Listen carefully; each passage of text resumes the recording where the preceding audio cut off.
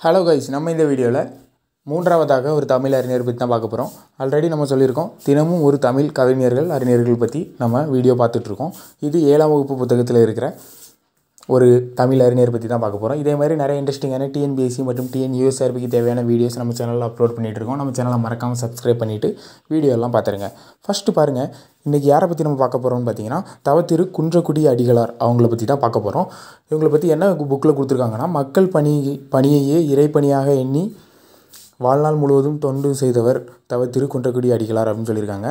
குன்றக்குடி அடிகளார் வந்து குன்றக்குடி அப்படிங்கிற ஒரு திருமடத்தின் தலைவராக விளங்கிய இவர் தமது பேச்சாலும் எழுத்தாலும் இறை தொண்டும் சமூக தொண்டும் இலக்கிய தொண்டும் ஆற்றியவர். இறை தொண்டு சமூக தொண்டு இலக்கிய தொண்டு மூன்றுமே ஆட்டியிருக்காங்க குன்றக்குடி திருமடத்தின் தலைவராக இருந்திருக்காங்க.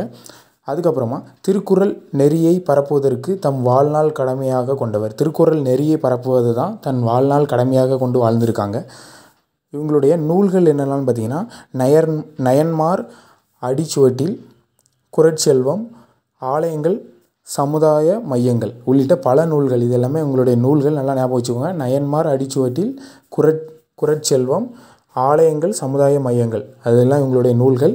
இதழ்கள் என்னென்ன இதழ்கள்லாம் குன்றக்குடி அடிகளார் வந்து நடத்தியிருக்காங்கன்னு பார்த்தீங்கன்னா அருளோசை அரிக அறிவியல் போன்ற இதழ்கள்லாம் நடத்தியிருக்காங்க. இதெல்லாம் இவங்களை பற்றினது அதுக்கப்புறமா லாஸ்ட்டாக நம்மளுக்கு இந்த பாடப்பகுதியில் எங்கேருந்து இவங்களுடைய எந்த நூல்லேருந்து எடுத்து கொடுத்துருக்காங்கன்னு பார்த்தீங்கன்னா ஒப்புரவு நெறி எனும் தலைப்பில் அடிகளால் கூறியுள்ள கருத்துக்கள் கருத்துக்கள் தான் நூல்கள் கூட இல்லை.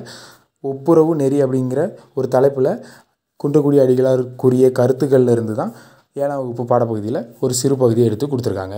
ஓகே கைஸ் நம்ம சேனல் உங்களுக்கு பிடிச்சிருந்து அப்படின்னா லைக் பண்ணுங்கள் சப்ஸ்கிரைப் பண்ணுங்கள் உங்கள் ஃப்ரெண்ட்ஸ்க்கும் ஷேர் பண்ணுங்கள் தேங்க்யூ